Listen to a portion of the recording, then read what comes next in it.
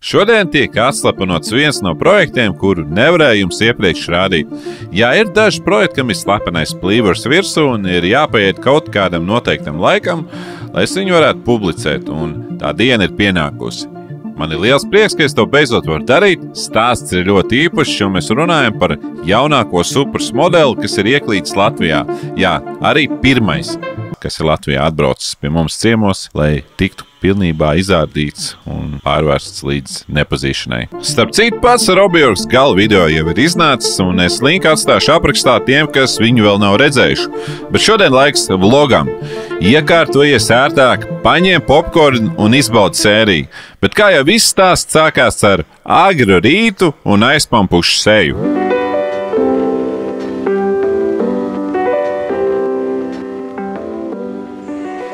Labrīt, draugi! Atkal ir atkal viens agrais rīts.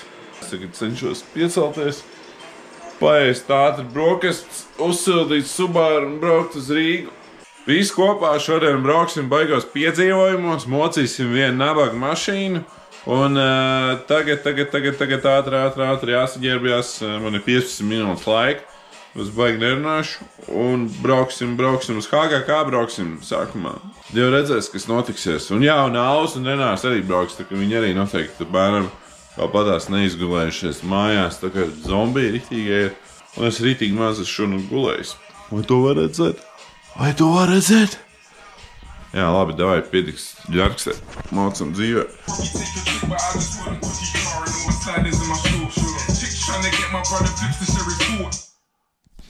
Lai nebūtu ko kopīrēt problēma? Ja? Tā labi. Nu, ne jau sniegs šonakt bija. Ej, tu nost.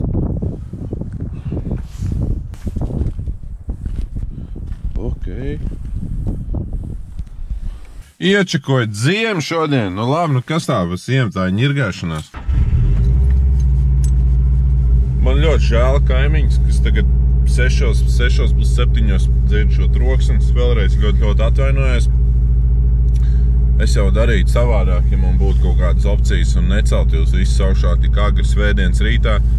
Bet uh, es noteikti gribētu pateikt, ka šobrīd es vedu mašīnu uz Rīgu un būs iespējams atpūsties pāris nedēļas. Jo es viņu sagatavošu apskatēju.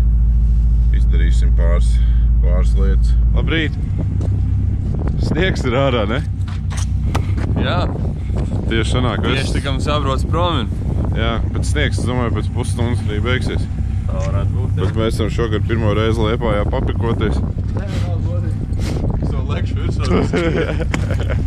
Liepājā, ja jūs redzat kaut ko tādu, tā ir, tas ir ļoti rēts. Ļoti rēta parādība tā ir Liepājā. Rāda visu laiku, kad būs plus 5, plus 6 grādi. Un, šodien ir 5. janvārs un agrs rīts sācies ar mazu kārtiņu sniega, ko mēs noteikti līdās mēģināsim izmantot. Un, lai arī mums diezgan jāsteidzās, mēs izdomājām, ka bišķiņ jāpasludinās, kamēr tas sniegs vēl ir te Liepājā.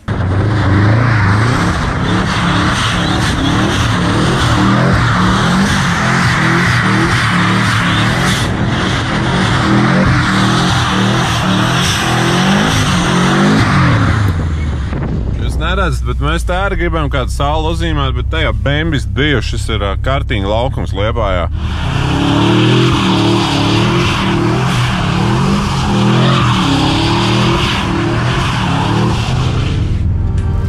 Jā, mūzikas sistēma subāram ir traņķīga, bet nu arī nav īsti vajadzīga. Esmu gulējis dažas stundas, un man kaut kā jāliek smadzenēm apstrādāt informāciju, lai neaizmigtu.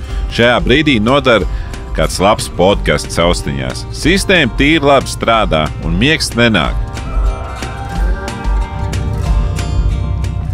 Esam slavenajā HGK. Viss nereāls zils. Jā. Domā, varēs to izlabot? Tas nav slavenais kārs. Kā tev vārdu uzaudzēt, klausies?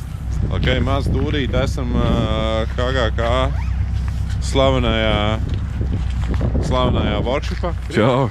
Laimīgi jaunā gada. Laimīgi jauno gadu. Sen neredzētais. Es tikko piecēlēsies. Kāpēc? Tikko no baznīcas. Jā, sēdiens. Šodien ir ā, 5. janvārs 2020. Mums ir no kurienes gandrīz vai parādījusies jaunā Toyota Supra.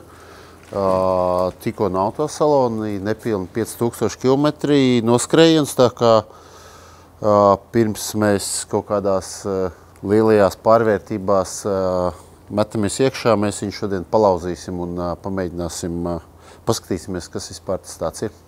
Mēģināsim super BMW pārtaisīt par ritīgu drift mašīnu un nu, pabrauksim, paskatīsimies. Vienīgais mums ir, kā jau minēju, 5. janvārs, vasaras riepas, tā kā būs interesanti.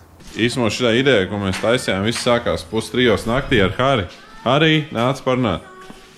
Pustrijos man uzrakstīja ziņu Vācijā, kad uh, pietiks uh, atpūsties, jāsāk strādāt.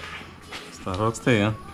tā bija kaut kāda kārtējā alkohola reibuma ideja. Bet ļoti labi. Rezultātā mēs šodien gāzīsim ar uh, šito taču. Pamocīsim kārtīgi. Un,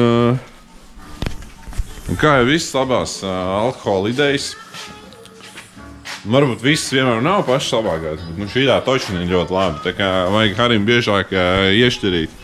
Mēs esam pilnīgi svaigā, svaigā suprā šobrīd iekāpuši. Un šī būs tā diena, kad mēs blēzīsim vaļā ar viņu. Jo viņi ir jauks ārā jau pirmdien. Visu to smuko salonu jauks ārā. Motoru raus ārā. Tā kā, ja kādam vajag ā, SS.OV, auto rezerves daļas, to jau supra.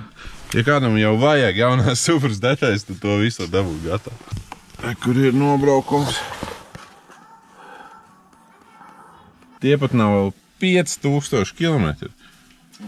Viss ir tik svaigs, tā, ka tikko no, no rūpnīcas vēl tā smarža ir. Nu, viņa vispār nav, nav vispār braukusi. Viss ir tik perfekts. Pilnīgi žēl mazliet ir. Šis viss būs izrādīts ārā. Šo visu izrādīs ārā. Nekāda nebūs. Nu, cik apmēram paliks supras detaļas? Priekšējā aizmugurējā balka, durvju roka, tur reņģis un, un, un, un, lampas. Tas, tas, nozīmē, ka vispārējo var, varēsiet uh, iegādāties uh, SSLV sadaļā jaunā supra. Tad mēs varam apskatīties. Šis būs Eiropaitas, ne? Šis ir uh, Kristaps Winterbeaters Šis ir uh, X3,5. X3,5. Šis ir Jorģa Winterbeaters. Es mēģinu tehnisko iziet. Viņš mēģina strīt Nē, legāli. Viņš pat, viņš pat neusticās. Visiem viss ciet, Viņš jā. neusticās tev. Austrum Eiropā. Tas ir kipšreiz lāģis. Bet šis ir labs. Kas tas ir? Tas septītās sērijas BMW. Šis ir rītīgi. Turbo stāvs iekšā. Turbo sāpes tur iekšā. Nu, viņš mēģina apskatīties. Par ko runā visi, man liekas. Žēl, ka nevar Es attaisīt. lasīju fórumos, viena teica, ka tur kaut ko par kaut kādiem svapiem, un teica, ka ir Latvijā tāds viens. Un... Tad tā ir leģenda. Reku manējais. Šis ir Hāra Winter. Ok. Te vēl nav viss. Viss savilkts, lai var normāli buksēt. O, kruku baterijas nav. Nu, nav pabeigts, un vispār nav laika. Nav ziema, nav stiena. Nav motivācija. Rūcenīt jau tur nopietnā. Klausies, eh, man, man, man patīk parādīt, kas tur iekšā ir. 26 arī. Vai tev ir apskatiņa? Man nav bija nahuj. viņa. Man ir cietās sakabes liekas, tad miks trišiem, nu, teikt noņemts. Aha, Cietējā un vēl kur man vajag. tā ir bijis. Tas arī nav legāli, bet, nu, Jā, tas legāls pa ceļu, te arī trūkst. kas ir? Normāls. Pēc tam te nāks, te viss vienās trubās, lai vienkārši tu aizbrauc uz mežu vai kur tu vienkārši nomet pēc tam no mašīnu, pēc tam paņem, brauc, tev nav jāremontē vispār. Labi, varam iedarbināt. Čenīt. Jauns slotiņš. labs. Tur šeit viss rūs tikai vajag apkārt uztaisīt, visas tās trubas. Tas jau nav nāc- nemaz tik sarežģīti. Nu, tam vajag laiku. Jā. Normāli peņķīgi. Te arī būs sporta peņķīgi. Tas, kas bija tevis laiks. Jūs Nē, nu šī. Šodien esat vispār kaut ko darījuši? Vispār nē, jau nav ne. bijusi ziema. Mēs jau liekam naglas un uz dopiņiem gažu. Par naktī. Jā, es, es redzēju. Tur parasti notiek baigi trakās lietas, ne? Jūs tur Normāli. pilnīgi, ne? Notiek labi. Nē, tur ir, ir čaļi, kas aizrauga normāli, un tad ir tie čaļi, kas tur veids brīnums taisa pa grāviem, tu savus jumtiem, tu savus. Pār tā otrā grupiņa. Jā, Tur es mēģinu pirmajā trāpīt. nu, jā, jā.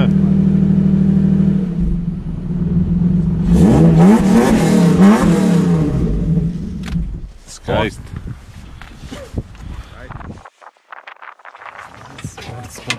Tas ir kāds trāpīši, man no tās atpakaļ. Nu, jā. Galvenais, kā agā, kā inženieris savu bīteri nežēlo. Čau, vecīt! Baigi neprast tev redzēt, ar taksi ierodas. Nu, gadās. Kas mašīnai? Viss kārtībā, viss kārtībā. Laikam braukt. Slinkums stāstīt drīzāk. A, kam ir šitais te? X3 ap pusīt. Tā ir man ielas mašīna. Es neesmu redzējis nevienu šitādu te. Tik smuku nosēdināt. Es tai toiloju. Viss pularitāna. Tas ir kāds bremzes virsma. Korvets. No korvetes? Nu, te ir kulis būvēja. Sešātrum kārdu. Parvāts viss uztaisīja man. Spek div, divdisku sajūgs. Afigēna. Nu, es tur vēl ceru, ka tur bija pielikt to pareizo. kas Man stāv uz plauka. Forši izstāst, viņš nosēdināt. Speciāli meklēju manuāli tieši. Baigi grūti atrast manuāli šitādu. Jā, viss. Holandē? Jā, viņam bija abas durvis iemīcītas un viss sūnām apaudzis. Nu, vienam nevajag stāvēt. Apmainīja durvis, izgāja tehnisko pirmo un tā brauc. Vispār neko nedarot. Brauc. Nu, tikai amīši tur uzlika buks. Nu, reāls tanks šis ir pirmais vēl dzelteniem pagriezieniem. 2002. gada pirmais metiens. Jā. Nu, labs, labs. Man tunīgs viņš ir uzkāries, saizķēries. Tas bija kārbi ir klāt, viss jau tiltiņi uztaisīt. Viss kardāni vajag sagrināt un kulis pabeigt. Kur ir vēl viens bīters sagatavots ziemas izklaidēm. Un šitā ir štēlu uz sāniem. Nu, normāli, pa mežiem gāzt. Šis ir kitkārs. Doč. Tur ir siera. Kas?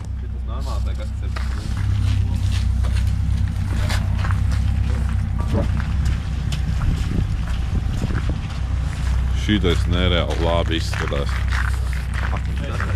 Pasties ar iekšā viss pilnīgs seti.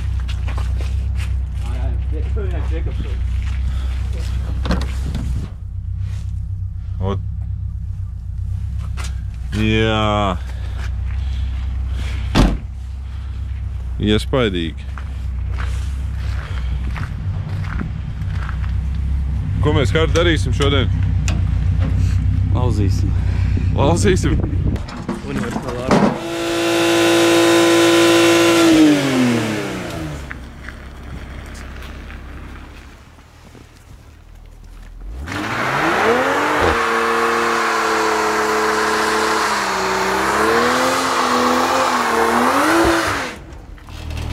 Tas gan bija forši, ne? Te nu mēs krājam svaigo super augšā un brauksim uz mežu. Mans subāriņš būs šodien čeiskārs. Mēģināsim dzīties pakaļ superai. Nu jā, šī svētdiena pavisam noteikti ir savādāka kā ierastās. Pirmais ir šis mistiskais sniegs, kam pēc laika prognozēm nebija jābūt. Jā, starp citu, ziema bija draņķīga. Tagad ieliesim degvielu, paņemsim brokastis un brauksim filmēt kaut ko pavisam dīvainu. Jā, nu neviens īsti neko tādu ar jauno supru nav atļāvies darīt. Mēs būsim pirmie, bet nu saprotiet, šī mašīna tam patiks jaukt ārā un pārbūvēt par drift auto. Tādēļ mazliet iesvētīt ar sacīkšu garu jau nenāks par ļaunu. Protams, ar vasaras riepām pa ledu, mežā, lielā ātrumā parādās daži citi riski. Salauzīt pašu buļbuļsu, bet nu, mēs jau esam prātīgi džeki. Nu, īpaši jau Kristaps. Kristam, šitā nav pašnāvība, kur tagad darīs? Kas tur bija? Ledu braukt? Viss. Būs labi? Jā, jā, jā. jā, jā. Nu, tādā ziņā būs labi. Jā. Stūbums kaut kāds būs, bet būs labi. Varbūt tomēr vajadzēs baznīcu iet. Jo, mam. Vēl bišķiņ.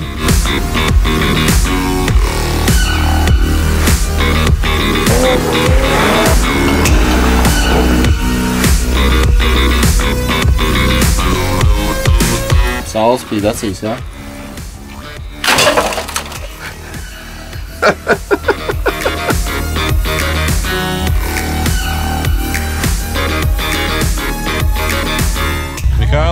Kungs, kā jums šī Robjorka slepenā Nu, filmēšana? baigi interesanti. Vispār baigi labi. Bišķi rakmeņam atrāvos, bet... Nopietnā, bet- akmeņiem atrāvies? A, tur uh, uzmeta bišķiņu, bet man liekas, ka kadram jābūt labam. Tas jau galvenais. Un nu mēs esam tikuši pie galvenajām meža ainām, kas nemaz nebija tik vienkārši, kā varbūt no malas izskatās. Mums vajadzēja atrast robežu starp labākajiem kadriem un veselo saprātu. Nevienmēr abas šīs lietas draudzējas kopā. Un tā mēs ar Kristapu izbraucām testu braucienu, paskatoties uz kādām robežām mēs varam spēlēties. Saķert nebija labākā, un koku uzbruka no visām malām, tāpēc uzdevums nebija viegls. Pašs sajūta ir ļoti interesants. Inženieri piekari ir uztaisījuši ļoti labi, jo bedres bija mīksts un bija sajūta, it kā tu brauktu ar limuzīnu.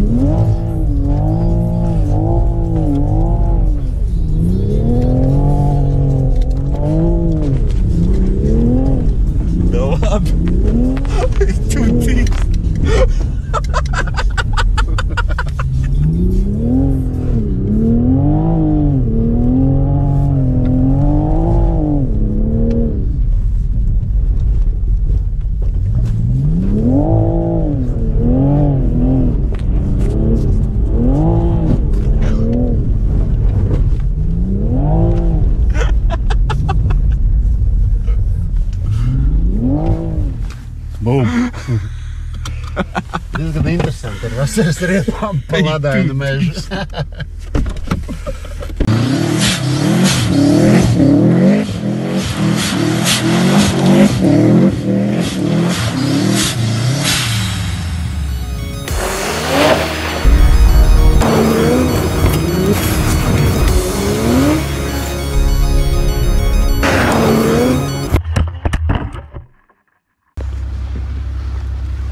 Kas tad ir ar to airbagu? Man liekas, ka ir, ja, ja atsitās apakš pret kaut, ko, kaut kādu priekšmetu, tad var airbag izšauties. Varētu bildīt. Tas nav tas, ko darīja tikko? Jā, man liekas, ka mēs atsitāmies pāris reizes.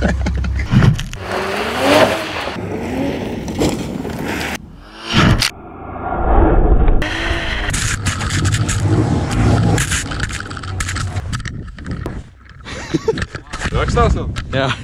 Ei, tīrs trīs dzīvoja. Mēs šo kameru pat keisā neielikām. Nu, jaunāko GoPro vēl uzlikām bez keisa.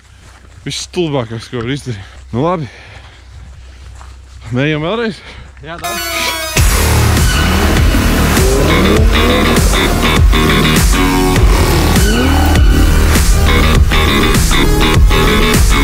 Ja jau super šito var, bezsēdnieku var izbraukt, tad jau jebkurš var izbraukt.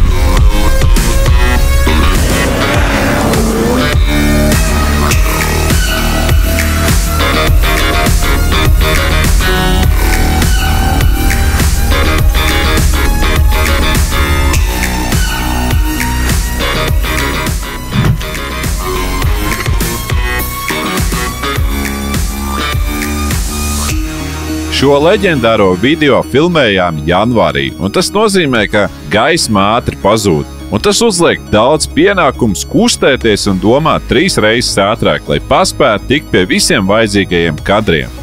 Mežā esam visu sadarījuši un laižam uz 333 trasi, kur mums vēl ir daži fināla kadri palikuši. Bet Kristapam radās ideja, ka jābrauc uz trasi caur meža ceļiem, jo tā būs ātrāk.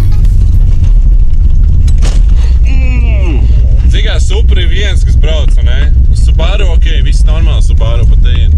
Bet Hāris ar visu piekāpu pa tejienu brauc. Var telefonu apskatīties. Tagad ir pa, ir pa kreisi. Vai? Jā, reku pasties. Jaunajai suprai var teikt tikai uzslavs. Meža ceļš viņi izdzīvoja un palicis vien izbraukt dažas sāns līdz trasē. Nu, īstenībā tas Kristapam nebija viegls darbs, dēļ vasaras riepām un biezās ledus kārtas uz ceļa. Bet ar vairākiem mēģinājumiem viņam tas izdevās. Un tikām pie ļoti labiem kadriem.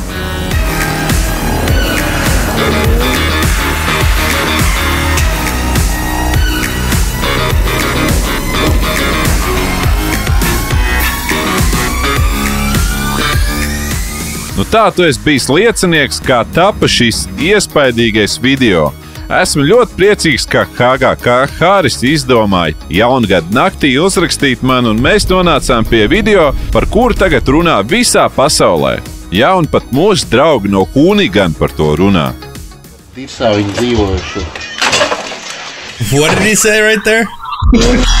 Poor people here in the old days. Nabaga senčs nekāda dirsā they had. Jautājums tev, ar kādu mašīnu tu vēlētos izgāzt mežā? Uzrakst komentāru un paskatīsimies, kur būs populārākā atbilde. Labākajam komentāram maza dāvaniņa no mūsu mērķu veikala purpaltiks.com. Un, protams, ja vēlaties atbalstīt mani kā satura veidotāju, piesako manam kanālam un atstāja laiku šim video. Tiekamies nākamajos piedzīvojumos!